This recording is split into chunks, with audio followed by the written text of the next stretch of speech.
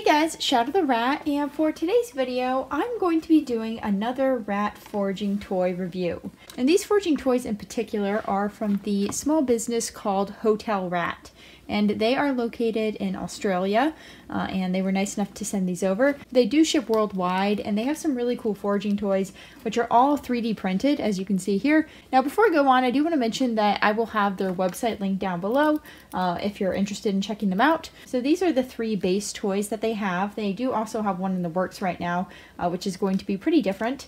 Um, but as far as these three go, they're all really cool, and oh my god, hey, we haven't discussed that yet, Blueberry. Give me a second. Ah, okay, anyways, like I said, these three are their base models of foraging toys. They come in three different colors. They have this black, uh, this olive green, and this tan color and you can choose any two variations for the different foraging toys. So I chose uh, green and black for this one, green and black for this one, and then black and tan for this one. Now each of these foraging toys is really cool in a different way, and they're all designed for specifically kind of different levels of foraging, and also designed in a way that makes it possible to make them easier or harder depending on your rat's foraging level. So I'm going to just quickly show you the three different foraging toys and of course allow the rats to eat from them because I put a lot of yummy stuff in them. Uh, but this one here is what they recommend for people starting out with their rats uh, foraging for the first time. And I think they call it the four-way slider. And as you can see here, these pieces all move back and forth and the rats can access different holes. These little holes can have a lot of food put in them. They're actually pretty deep uh, and they're very nice and wide so the rats can stick their nose in there, they can stick their paws in there. It's not difficult for them to get to the food itself. And the sliders are made so that they're pretty easy to move back and forth. And this way your rats just kind of get used to the idea of foraging and they have very easy access to all of the holes. Now one thing you can do to make it harder however is you'll notice that on each side here there is a little gap. And that's because you can actually hang this up in the cage they actually include some of these little hanging clips, and if you hang this on the cage wall like this, then your rats will have to work harder to slide these around in order to get to the food. It definitely makes it a little bit harder for your rats to get to the food because sliding has to be more deliberate in that case. Now you will also notice that each of these little pieces has some holes in it. Uh, these are to allow your rats to sniff the food underneath. So I think that's a really nice design choice and it definitely seems like it's gotten my rats more intrigued with this foraging toy. Even the dwarf rats who were a little bit skeptical at first. So I'm pretty happy to see these little holes on each of the toys. Anyways, this is their first one that they recommend again to beginner forgers. Now moving on from the four-way slider, you have the one-way slider, and this is kind of a step up from the four-way one. As you can see here, the slider part on top smoothly rotates, so the rats can only really access one or two holes at the same time. Uh, and just like the other one, you'll notice that this one has little sniffing holes for the rats to kind of discover the treats inside. And it also has some really nice deep holes, which you can put lots of treats in or lots of just normal food. It just depends what you want to put in there. On top of that, just like the other one, you have little holes that you can hang the foraging toy on the wall for in order for the rats to have a little bit more difficulty getting to the treats inside. And just in general, just like the other one, it's a really cool foraging toy. Uh, the rats don't have any problem pushing this around. It's very light. Even the dwarfs can do it pretty easily. And it's just a lot of fun for them to maneuver around. I think this is definitely a good step up because the rats have to be a little bit more deliberate with how they push around the ring, uh, but it's still pretty easy for them to get to the treats inside and they can figure it out pretty quickly. And then after that, again, you can hang it on the wall to make it more difficult. So that's just really nice because a lot of foraging toys don't have this sort of difficulty option. So I always like seeing foraging toys that go above and beyond and kind of give you a few different ways to give it to your rats and a few different ways for your rats to interact with them. Anyways, moving on to the third foraging toy, that is this one right here. And this one is really cool because of a few different things. Uh, first of all, you have the doors. As you can see, this side has a little gap in it, and this side does not. That means that your rats have different difficulty depending on what side they approach.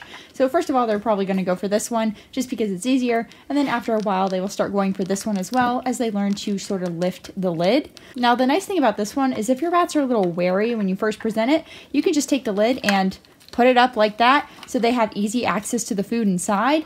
And the nice thing about that is that it allows your rats to just get to the food without the lid falling on them so they don't have any sort of negative experience with it, which means they adjust to it quicker and they learn to use it much quicker than other sorts of foraging toys with this sort of style. Now the other nice thing about this foraging toy is it can be used both as a ground toy and as a hanging toy, which is similar to the other ones. However, if you've ever had other sorts of designs of this foraging toy, which I have had kind of similar designs made with PVC pipes, uh, the main problem with those is they can only hang, which kind of limits your options. This one, on the other hand, can be put on the ground, which allows your rats to kind of investigate and learn it. And then you can hang it up, and they will already know kind of how to get into it, but they have the added difficulty of it hanging and moving around, which just makes it a little bit more difficult to get inside.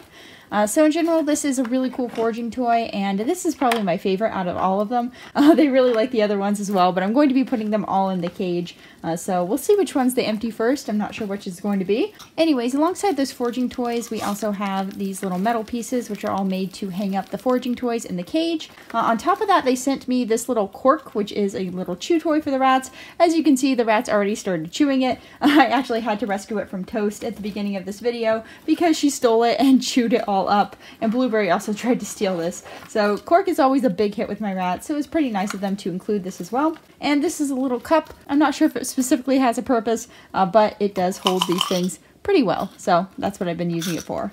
So yeah, these are really neat foraging toys, and I think Hotel Rats did a great job designing them. Uh, again, like I said, all their toys are 3D printed, and one neat thing is that you can actually purchase the designs for each of these foraging toys for just $5 on their website. So if you have your own 3D printer, or if you have access to a 3D printer, you can actually make these yourself, which I think is really neat. Anyways, other than that, I'm just really pleased with all these foraging toys, and my rats clearly have been really enjoying them. So if you like what you see, you know, go ahead and check them out. Again, they are called Hotel Rats, and I will have their website linked in the description and comments. The final thing I wanted to mention about Hotel Rats before ending this video is that all of their packaging is recyclable and most of it can also be used for your rats to just play with. So this in particular is some paper, uh, kind of crinkled paper, and as some of you might know, I use this in my rat's dig box, so they really love this sort of stuff, and it's great for them to nest with. They love to chew it up and drag it around, so this is a really nice thing to see included. They also have this little card here. This is also made of cardboard, so the rats can chew this up, and then you finally have their little box here.